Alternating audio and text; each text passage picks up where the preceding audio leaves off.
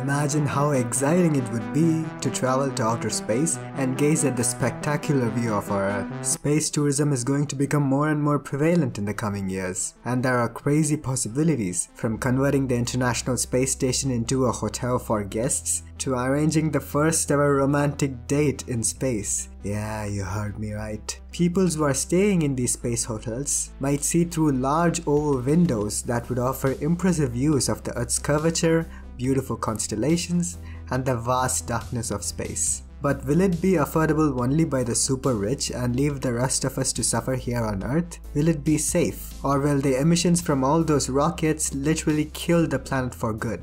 Let's take a look. So when we say space tourism, how far will we actually be going into space? The answer to this question might not be what you imagined earlier. There is suborbital space travel and orbital space travel. Let's look at the lame one first. A suborbital rocket requires just enough speed to be able to fly to about 63 miles above the Earth's surface, which is where the Kármán line is located. The Kármán line is the imaginary boundary at which Earth's atmosphere ends and outer space begins. So once it crosses the Kármán line, a suborbital spacecraft just shuts off its engines and falls back to Earth. But scientists say that at the highest point of a suborbital flight, one can experience weightlessness called microgravity. A point to note here is that the spacecraft itself would not be floating in space, but it would actually be in the process of dropping back to Earth. So it just goes up and comes down. So let's look at something more interesting. Orbital space travel. An orbital flight circles or orbits the Earth at least once in a stable way. To do that, an orbital spacecraft must achieve what is known as orbital velocity. Orbital velocity is the speed that an object must maintain to remain in orbit around a planet. To orbit around the Earth, a spacecraft must travel at a crazy speed of 17,400 miles per hour. It is actually this incredibly high speed which makes orbital spaceflight technically so complex and therefore expensive. And then there is lunar space travel, which involves round trips to the moon.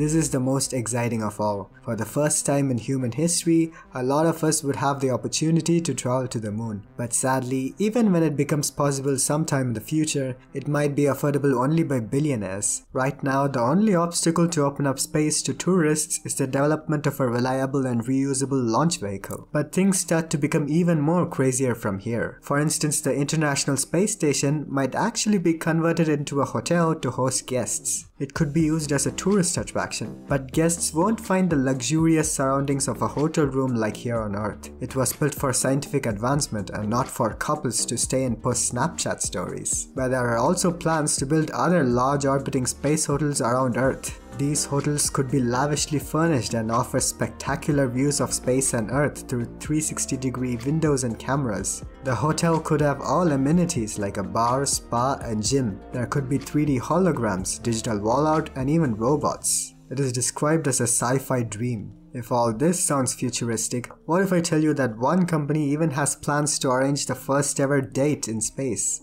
Yeah, you heard me right. I'm assuming most of you know about the company Luzo, or however it's pronounced. It's actually the idea of a guy called David Mintz. Long story short, they now have an option to connect two like-minded singles who are willing to have the first ever date in space and have the financial power to back it up. It's probably advisable to split the bill on this one. Imagine if things didn't work out and they just broke up. After that once in a lifetime experience, they would be scarred for life. But let me dive a little bit into the grey area and ask why would people want to go to space in the first place? Most of us just want to see Earth from outer space and get mesmerized by its beauty. Some of us would want to experience microgravity and feel weightless and have fun bouncing around. Space tourism could also help us understand the impact of space travel on humans.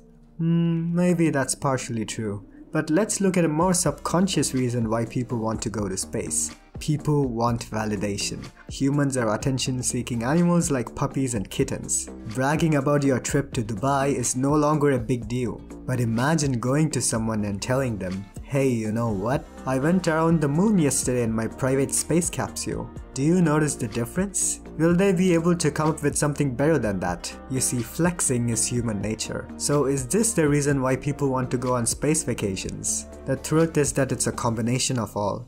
But we are all missing on something huge here. And that would be the price that Earth would have to pay to withstand all these space journeys. Space tourism can be downright catastrophic to the planet. The carbon footprint of flying to space in a rocket is about 100 times more than taking a long haul flight. This is partly because spacecrafts can only carry a very small amount of people. When a single rocket is launched into space, it leaves a soot cloud. Soot can accumulate in the stratosphere, where it cannot be washed away by the weather.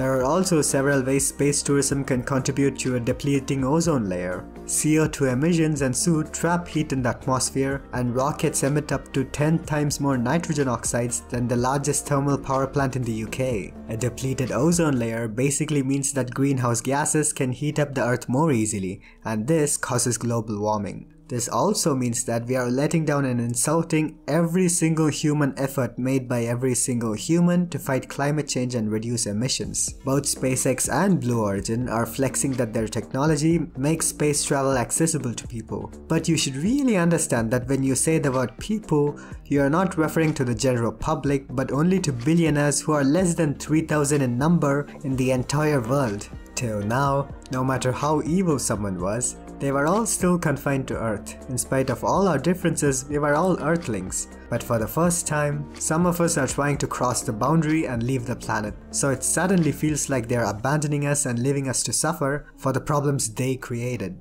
So there are definitely going to be some hard responses. So is space tourism a necessary and exciting scientific advancement? Or the least sustainable tourism sector to ever exist, favoring the wealthy and leaving behind ordinary citizens who need help on Earth? There is really nothing to celebrate here, unless these companies find a way to yeet their rockets into space without murdering the planet.